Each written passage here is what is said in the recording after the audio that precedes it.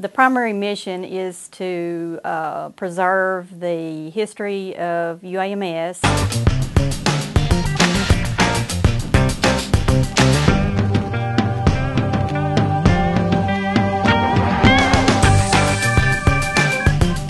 The larger mission is the, to preserve the history of the health sciences in Arkansas. My title is archivist.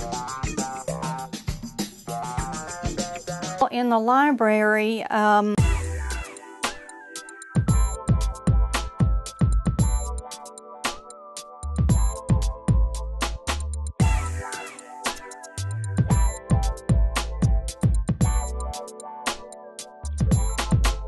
There's the main areas down on the second floor, and it's the we have a locked area to secure the things that are more valuable.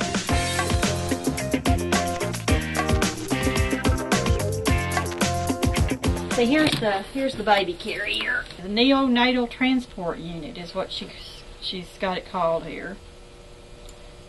So the poor kid that had to be transported in it. I mean, you know, really. I mean, you know, talk about your trauma. Can you imagine being put in this box and then the lid closed? Amanda might know somebody that could actually tell you more. That's done more research. Now, you have to understand that when they got to the hospital, the incubators were not much more sophisticated.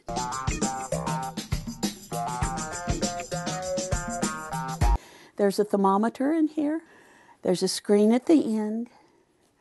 There's an opening in the top so that you could open and close it for ventilation.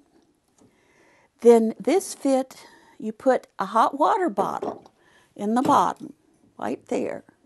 You put the baby in, in here all wrapped up, and then you put this on top of him. I would love to know exactly how people thought they were.